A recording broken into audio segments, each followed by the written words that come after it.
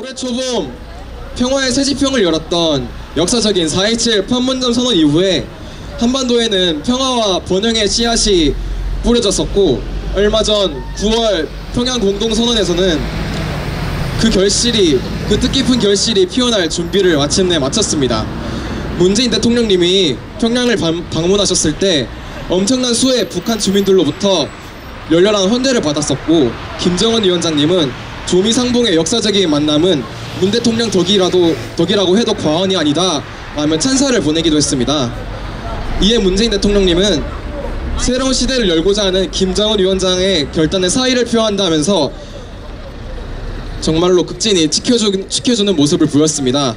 이렇듯 남북의 지도자가 서로를 극진히 지켜주는 모습은 그런 아름다운 모습은 정말로 통일을 염원하는 우리 수많은 민중들의 눈시울을 붉히고 가슴을 벅차게 할 수밖에 없었습니다.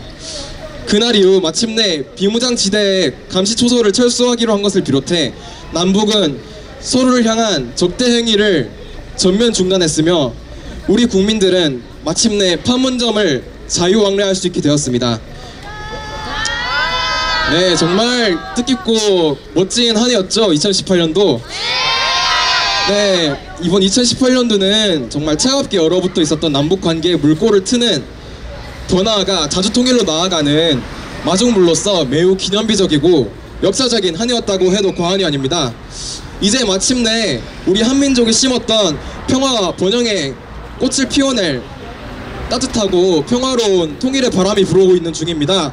바로 무엇일까요? 바로 김정은 위원장님의 서울 방문입니다.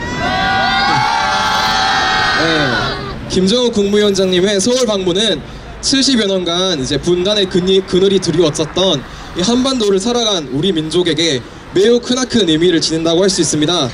분단이라는 벽에 가로막혀서 서로를 제대로 바라보지 못했었던 우리는 북의 최고 지도자를 악마화하는 것을 당연시 여기고 북을 부정적으로 바라보지 않은, 않는다면은 비정상 취급을 받는 그런 이상한 사회에서 살아왔습니다. 어렸을 적 제가 배웠었던 북한은 전쟁과 도발의 대명사이자 끔찍한 인권의 불모지였습니다. 미디어에서는 연일 북한에 살고 있는 아이들, 특히 빈곤과 기아에 허덕이는 어린 아이들의 모습을 뉴스 화면에 가득 채워 담았습니다. 그러나 시간이 흘러 점차 북한에 대해서 점점 배우게 되면서 올해 또한 올해 짧은 몇 개월간에 있었던 세 번의 남북 정상회담의 모습을 보면서 그런 많은 생각들을 고치게 되었습니다. 과거 보수 정, 보수 독재 정권들이 각종 빨갱이 논리를 써먹어 써먹어가며 자신들의 입속을 챙기려 했음을 보수 언론들은 북에 대한 가짜 뉴스를 이용한 공장처럼 찍어내면서 진실을 호도하기 바빴고 그로 인해 생긴 레드 컴플렉스를 이용한 수구 보수 정치인들은 안보팔이를 했으며 국민들로부터 적잖은 표를 얻어먹었음을 또한 결국 북에 대해서 무지했었던 우리 사회가 스스로를 눈멀게 했음을 깨닫게 되었습니다. 이전에 문익환 목사께서는 남과 북이 서로 고무 찬양하지 않고 어떻게 통일을 이룰 수 있겠냐라고 말씀을 하셨습니다. 이미 우리 이미 우리는 9월달 평양 공동선언 때 평양 시민들이 손을 맞잡은 남북 정상을 바라보며 조국 통일을 연호하고 평양 5일 경기장을 가득 채웠던 그 수많은 북한 주민들이 문재인 대통령을 향해 열렬한 환호의 목소리를 보내는 장면을 두 눈으로 똑똑히 보았습니다. 한반도가 동방 예의지국이라고 불리는 만큼 우리는 그런 정성에 생각하는 또 그 이상의 담례를 분명히 해주는 것이 마땅한 일입니다. 맞습니까? 네, 저는 김정은 위원장의 서울 방문을 환영한다는 것은 환영한다는 것이 문재인 대통령의 평양 방문을 이제 수많은 북한 주민들이 보내줬었던 뜨거운 환영에 대한 담례임을 넘어서 가슴 벅찬 우리 민족사의 쾌거이자 눈부신 통일 1세대를 맞이할 우리 민족의 양심이라고 생각합니다. 여러분들 도, 여러분들 동의하시나요? 분단의 철망을 끊고서 통일을 향해 한 걸음 더 나아가는 일은 서로에 대한 굳은 믿음이 없다면 결코 이루어질 수 없기 때문입니다. 저는 북의 동포들이 보여준 통일 조국에 대한 열망과 김정은 위원장님의 강한 의지에 대해서 깊이 신뢰합니다.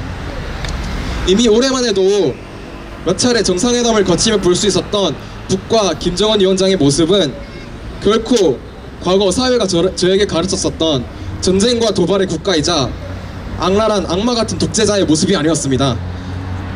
단지 우리가 그 누구보다도 평화를 원하고 같은 역사, 같은 피를 나누고 있다는 그런 한민족이라는 사실을 다시 한번 깨우쳐 주게 했을 뿐입니다. 그렇기에 저는 우리 민족의 평화 통일, 평화 통일과 번영을 위한 역사적인 발걸음을 내디디시는 김정은 위원장의 김정은 위- 국무위원장을 진심으로 지지하고 열렬히 환- 응원하고자 합니다. 여기 계신 많은 분들도 함께 김정은 국무위원장의 서울 방문을 함께 환영해 주셨으면 합니다. 감사합니다.